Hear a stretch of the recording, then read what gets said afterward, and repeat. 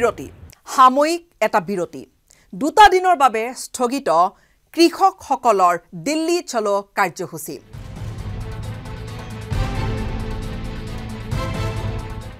চৰকাৰৰ সৈতে হোৱা চতুৰ্থ লানি আলোচনাৰ পিছতে সিদ্ধান্ত ল'লে বিদ্ৰোহী কৃষকে। পাঞ্জাৱ হাৰিয়ানা সীমান্ত যি কৃষকসকলে ৰৈ আছিলে আজি বিগত কিছুদিন ধৰি তেওঁলোকে দিল্লী চলো কাৰ্যসূচী লৈ চৰকাৰৰ আগত বহুকেইটা তেওঁলোকৰ দাবী উত্থাপন কৰি আছিলে। সেই কাৰ্যসূচী সাময়িকভাৱে স্থগিত ৰখা হৈছে। আচলতে চতুৰ্থ লানি যি আলোচনা কেন্দ্ৰীয় চৰকাৰৰ তিনিগৰাকী মন্ত্ৰীৰ সৈতে অনুষ্ঠিত হৈছিল সেই চতুৰ্থ লানি আলোচনাত কিছু প্ৰস্তাৱ দিছে কেন্দ্ৰই।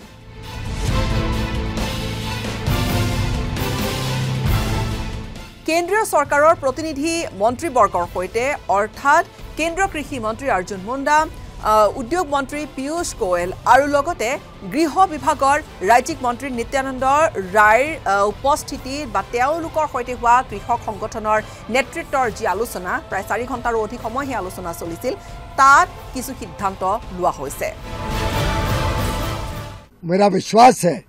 जिस सौ- अच्छे वातावरण में आज की चर्चा हुई है उस वातावरण में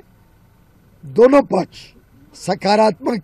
सोच के साथ, हम चाहते हैं कि कॉटन पुनर्जीवित हो। पंजाब फिर एक बार कॉटन की खेती में, कापूस की खेती में अपना प्राथमिक स्थान ले। तो जो भी किसान कॉटन की खेती भी पुनर्जीवित करता है, शुरू करता है फिर से, उनके लिए भी कॉटन कॉरपोरेशन ऑफ़ इंडिया इसी प्रकार का एक पाँच साल का करार करेगी लीगल एग्रीमेंट करेगी, और पाँच साल तक जो भी उत्पादन इन खेतों से आएगा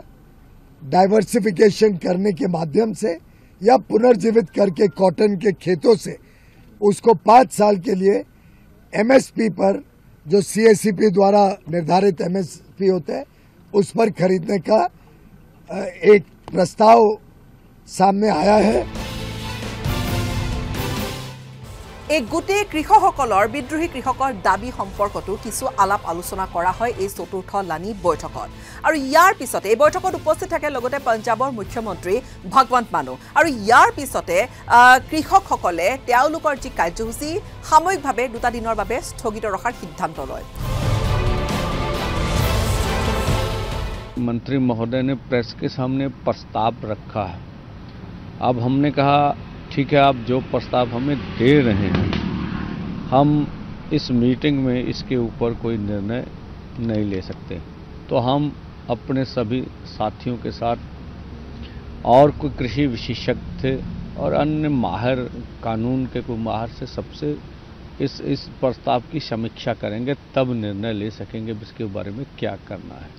तो आज हम जाके इसी तरह की अपने साथियों के साथ विचार विमर्श करेंगे उसके बाद क्या होगा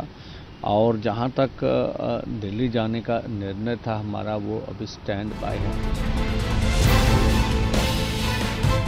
এই চৰকাৰৰ প্ৰস্তাৱ যদি তেওঁলোকৰ মনপুত নহয় তেনেহ'লে একৈছ ফেব্ৰুৱাৰীৰ পৰা পুনৰবাৰ তেওঁলোকে তেওঁলোকৰ প্ৰতিবাদ আৰম্ভ কৰাৰ হুংকাৰ দিছে এই দাবীসমূহৰ ভিতৰত অন্যতম আছিলে এখন আইন এম এছ পি ন্যূনতম সমৰ্থন মূল্য সম্পৰ্কীয় এখন আইন লগতে স্বামীনাথন ৰিপৰ্টৰ যিখিনি পৰামৰ্শ সেয়া কাৰ্যকৰী কৰা।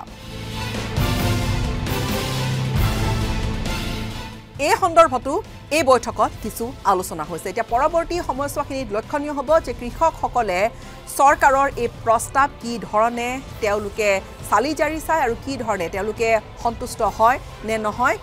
যদি তেওঁলোকৰ মনপুত নহয় তেওঁলোকে কিন্তু পুনৰবাৰ হুংকাৰ দিছে যে একৈছ ফেব্ৰুৱাৰীত আকৌ দিল্লী চালো কাৰ্যসূচী হাতত তেওঁলোকে ল'ব।